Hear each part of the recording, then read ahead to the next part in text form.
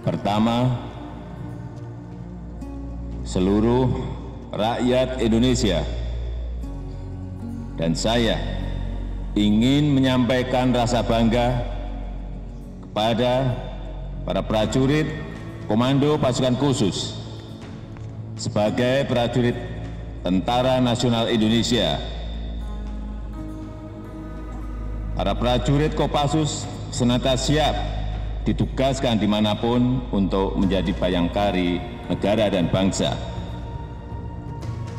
Dan tidak pernah gentar membela ideologi negara Pancasila, serta selalu setia kepada negara kesatuan Republik Indonesia yang berdasarkan Pancasila dan Undang-Undang Dasar 1945.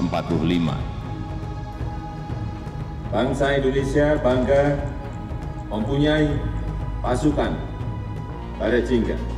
Karena saya tahu, kita tahu, tidak ada Korps Paskas merasuk jiwa Sabta Marga, selalu siap, sedia membela merah putih, mempertahankan negara kesatuan Republik Indonesia sebagai pasukan khusus TNI AU, Korps Paskas mempunyai kemampuan tiga matra sekaligus, yaitu darat, laut, dan udara.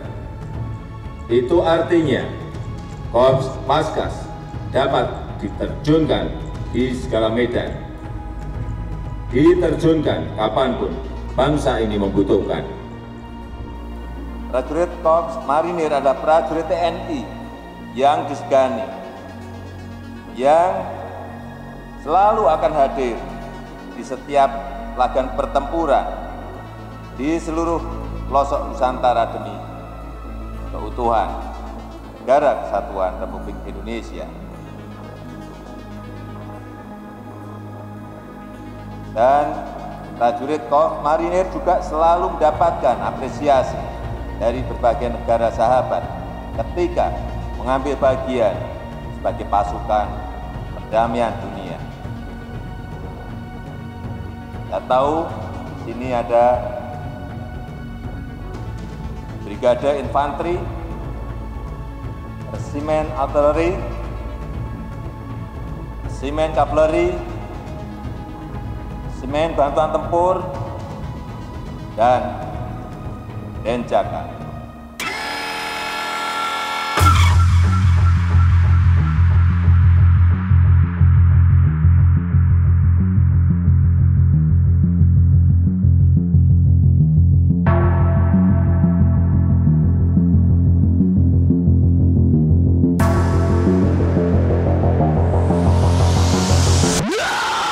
Detasemen Jala Mangkara atau Denjaka adalah satuan gabungan antara personil Kopaska dan Taifib Korps Marinir TNI Angkatan Laut. Denjaka dikhususkan untuk satuan anti teror walaupun mereka juga bisa dioperasikan di mana saja, terutama anti teror aspek laut. Denjaka dibentuk berdasarkan instruksi Panglima TNI kepada Komandan Korps Marinir nomor ISN 01 P41984 13 November 1984. Selain sebagai komando pelaksana Korps Marinir yang berkedudukan langsung di bawah dan Kormar, Denjaka juga sebagai pelaksana utama Panglima TNI. Sebagai komando pelaksana Korps Marinir, Denjaka mempunyai tugas pokok dalam membina kekuatan dan kemampuan satuan detasmen Jala Mangkara. Sedangkan sebagai pelaksana utama Panglima TNI, dalam hal ini Kabais TNI selaku penyelenggaraan pembinaan kemampuan khusus meliputi operasi anti-teror, anti-sabotase, dan operasi klandestin yang beraspek laut maupun operasi-operasi khusus lainnya.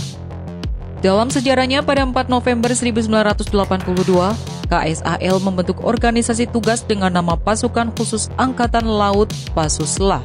Keberadaan Pasusla didesak oleh kebutuhan akan adanya pasukan khusus TNI Angkatan Laut guna menanggulangi segala bentuk ancaman aspek laut, seperti terorisme, sabotase, dan ancaman lainnya.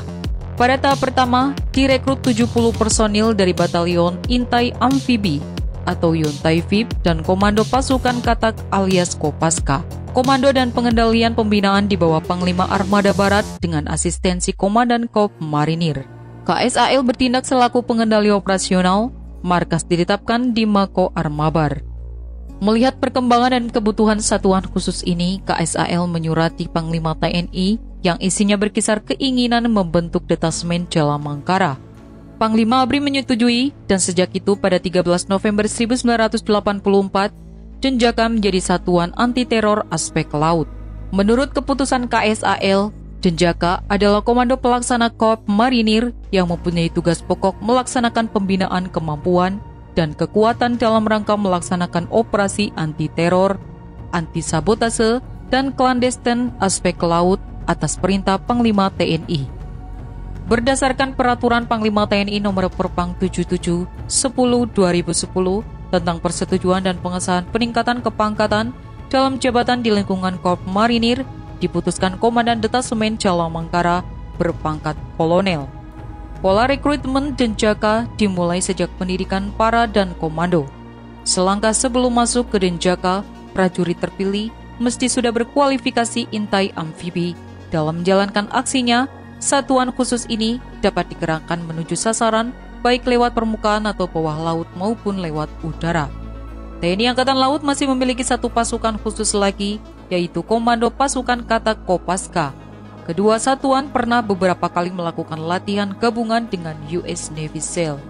Dalam organisasi satuannya, Denjaka terdiri dari satu markas Sedeng Detachment, satu tim markas, satu tim teknik, dan tiga tim tempur.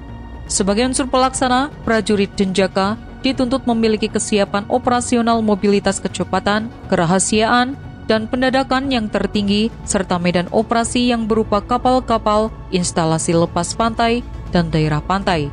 Di samping itu, juga memiliki keterampilan mendekati sasaran melalui laut, bawah laut, dan vertikal dari udara. Setiap prajurit Denjaka dibekali kursus penanggulangan anti-teror aspek laut yang bermaterikan intelijen, taktik dan teknik anti-teror, dan anti-sabotase, dasar-dasar spesialisasi, serta komando kelautan dan keparaan lanjutan.